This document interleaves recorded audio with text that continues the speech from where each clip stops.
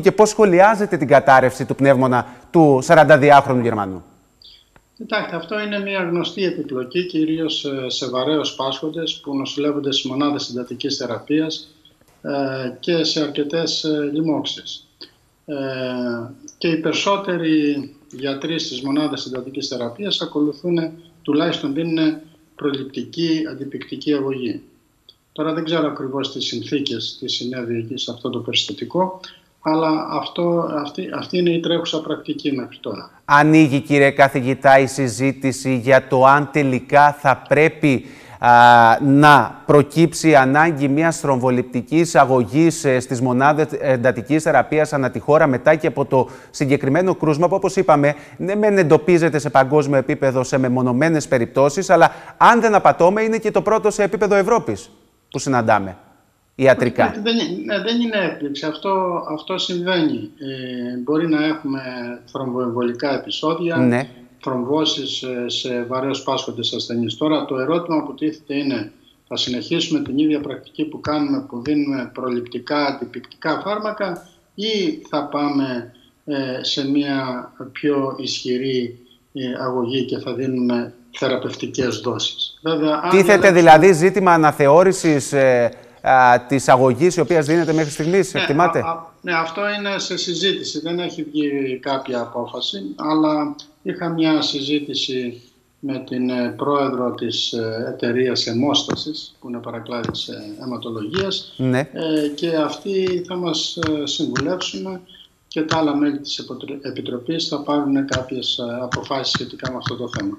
Μάλιστα. Κύριε καθηγητά, πείτε μου κάτι, γιατί ναι, μεν το φωνάζουμε και εμείς και η πολιτεία, και εμείς εννοώ δημοσιογραφικά και εσείς ως ειδικοί και εξειδικευμένοι επιδημιολόγοι.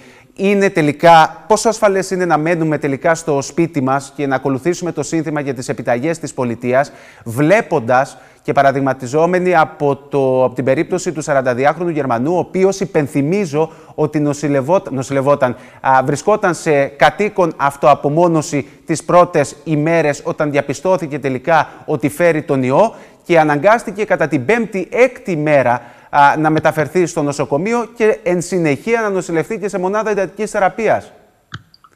Ε, κοιτάξτε, εδώ έχει, υπάρχουν δύο θέματα που θα ήθελα να θίξω. Ένα είναι μένουμε, μένουμε, στο σπίτι ναι. ε, αν τα συμπτώματά μας είναι ήπια και έχουμε παρακολούθηση από κάποιο γιατρό. Διότι η κατάσταση μπορεί να επιδεινωθεί και εμείς να το αγνοήσουμε. Επομένως θα πρέπει να έχω καθημερινή επικοινωνία με τον γιατρό σε περίπτωση που θα μείνω στο σπίτι. Αν δούμε ότι τα συμπτώματα επιδεινώνονται ή παρατείνονται, τότε θα πρέπει να αναφερθούμε επιγόντως στο γιατρό. Προλαβαίνει κάποιος δηλαδή να αναζητήσει ιατρική βοήθεια, γιατί είδαμε ότι εξελίχθηκε η κατάσταση υγείας του ραγδαία του 42χρονου. Είναι ένα ερώτημα που απασχολεί και που ε, απασχολεί πολύ κοινό. Ε, κοιτάξτε, η... τώρα δεν ξέρω όπως σας είπα και προηγουμένως ακριβώς τις συνθήκες, ναι. πάντως ε, κάπως θα επιδεινώθηκε η κατάσταση. Δεν ε, ήταν σχετικά καλά και σε μία ώρα ε, κατέρευσε. Επομένως, χρειάζεται μια παρακολούθηση που μπορεί ο ίδιος ο ασθενής να μην είναι σε θέση να την αξιολογήσει. Γι' αυτό θα πρέπει να είναι σε καθημερινή επαφή με τον γιατρό που τους συνέστησε να μείνει στο σπίτι. Mm Κύριε καθηγητά, γιατί οι εβδομάδες που έπονται από εδώ και πέρα, Συγγνώμη, ακούσαμε... Ήθελα, ήθελα Παρακαλώ. να μιλήσω άλλο ένα θέμα. Παρακαλώ, βεβαίως. Γιατί εδώ γίνεται ένα λάθος και έχουμε διασπορά μέσα στην οικογένεια. Επομένως, αν μένω με άλλα άτομα, και ναι. είμαι ύποπτος ή έχει επιβεβαιωθεί ότι έχω τη λίμωξη από κορονοϊό, θα πρέπει να λάβω αυστηρά τα προληπτικά μέτρα μέσα στο σπίτι. Θα πρέπει να απομονωθώ σε ένα δωμάτιο. Αν υπάρχει δεύτερη τουαλέτα να χρησιμοποιώ ε, κατά αποκλειστικότητα εγώ την τουαλέτα και να κάνω δυσυψία στα χέρια συχνά και αν βγαίνω από το δωμάτιο που είμαι απομονωμένος να χρησιμοποιώ μάσκα και όποιος με φροντίζει να με φροντίζει το πιο νέο άτομο της οικογένειας με μάσκα. Δυστυχώς γιατί ε, ε, είμαι μάρτυρας διασποράς μέσα στην οικογένεια. Μάλιστα. Επομένως πρέπει να το προσέξουμε και αυτό. Μάλιστα. Μιας και μιλάμε για τα μέτρα αυτά προστασίας, γιατί ξέρετε ότι ο Έλληνας κάνει τη δική του, δίνει τη δική του μάχη καθημερινά. Το βλέπουμε, διαπιστώνεται άλλωστε. Μένει στο σπίτι, προσπαθεί να προφυλάξει τον εαυτό του και την οικογένειά του. Γιατί όμως ακούμε και τον κύριο Τσιόδρα και το σύνολο των επιδημιολόγων να λένε ότι οι επόμενες δύο εβδομάδες, και αυτοί που διανύουμε δηλαδή και οι επόμενοι, είναι εξαιρετικά κρίσιμες. Κοιτάξτε, γιατί να δούμε τι πορεία θα πάρει. Τώρα προς το παρόν και ευτυχώς είναι κάποιο ελπιδοφόρο το μήνυμα ότι την τελευταία εβδομάδα ε, βλέπουμε τα κρούσματα να μην αυξάνονται εκθετικά. Δηλαδή έχουμε 70, 80, 90 και μένονται και δεν έχουμε 70, 150, 200. Αυτό είναι ένα ελπιδοφόρο μήνυμα. Βέβαια δεν εφησυχάζουμε και να δούμε πώς θα εξελιχθεί η επιδημία στη χώρα μας τις επόμενες δύο εβδομάδες. Μάλιστα. Ε, πείτε μου και κάτι, γιατί παρατηρούμε το τελευταίο διάστημα ότι ο εντοπισμός πλέον των περισσότερων, στην πλειονότητα των κρουσμάτων, αν εξαιρέσουμε την Αττική, ε, εντοπίζονται σε κοινότητες, εντοπίζονται στην ενδοχώρα, εντοπίζονται σε χωριά όπως την Καστοριά. Ε, θέλω να μου πείτε αν τελικά το ότι έσπασαν κάποιοι συμπολίτες μας τις προηγούμενες ημέρες την ρητή απαγόρευση που είχαμε και εκ μέρους της πολιτείας για την κυκλοφορία, εάν δηλαδή αυτό ήταν μια μοιραία κίνηση συμπολιτών και ο, είχαμε μεγαλύτερη διασπορά του ιού ακόμα και σε χωριά, ακόμα και στις περιφέρειες. Σίγουρα για να βλέπουμε αυτά τα φαινόμενα, σίγουρα έγιναν κάποιες παραβιάσεις. Είτε προηγήθηκαν τα καρναβάλια, είτε συναθρήσεις άλλου είδους, ναι. συναναστροφές με περισσότερα άτομα, σίγουρα έχουν γίνει κάποιες παραβιάσεις. Ο ιός δεν πετάει σε μεγάλες αποστάσεις.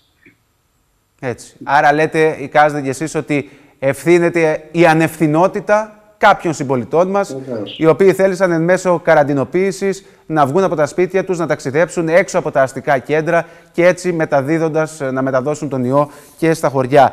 Είναι όντως ε, τα αποτελέσματα τα οποία βλέπουμε σήμερα και συναντάμε αναφορικά με τον αριθμό των κρουσμάτων είναι ένα αποτέλεσμα της έως τώρα προσπάθειάς μας τουλάχιστον.